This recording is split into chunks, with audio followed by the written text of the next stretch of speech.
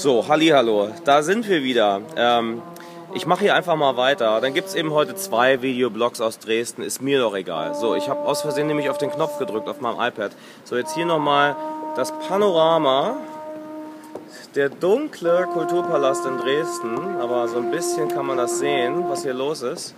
Da hinten, da kommt gerade Dirk Lenschert, unser erster Trompeter, und Uwe, Uwe, unser MD, an der Posaune, übt auch schon ein bisschen. Hier ein kleiner Eindruck von der Bühne. Das sieht man natürlich, kann man nicht so toll alles erkennen, aber so ein bisschen. So, dann gehe ich mal mit euch nach oben. Schaut mal hier. Das ist mein Mikrofon, man sieht es kaum. Wir gehen mal hier die Treppe hoch. Das wird total toll. So, da ist Jürgen. Na, Hallo. alles fit? Ja, Nach Tag 3. Tag 3. Unglaublich, und es fühlt sich irgendwie schon an wie eine Woche, finde ich. Obwohl es erst stimmt. vier Tage sind. Ja, das stimmt. Aber ähm, so ist das auf Tour. So, hier, hier, hier, das ist ganz, ganz großartig. Die neue Keyboardburg von Mike. Da ist er. Demnächst bei Playmo. Wahnsinn.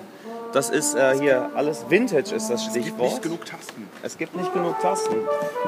Da ein altes Fender, die alte Orgel und boah, die Vintage Keyboards, die alle total fantastisch klingen, aber auch leider ihren Tribut zollen, weil Mike muss jeden Tag erst einmal der Erste am Set, weil er an seinen Keyboards rumschrauben muss erstmal eine Stunde. Schönes Getriebe ölen. Ja, Ist viele work. aber, aber, aber dafür. Ingo, Ingo, da Ingo.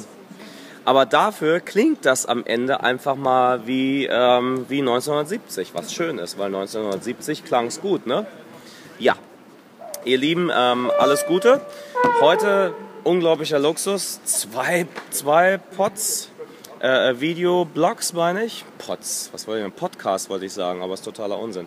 So, ähm, ich mache jetzt mal Stopp, diesmal gewollt und ähm, demnächst wieder mehr auf diesem Sender. Tschüss.